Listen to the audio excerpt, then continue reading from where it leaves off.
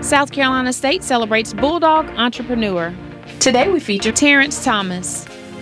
The 1993 South Carolina State graduate's journey to entrepreneurship has been influenced by his passion for Southern cuisine and hospitality. With over 15 years in the business industry, Terrance is now the franchise owner of two The Lost Cajun restaurants in Florence, South Carolina.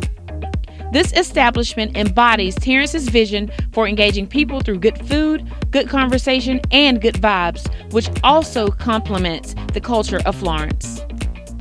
Visit scsu.edu to see more stories.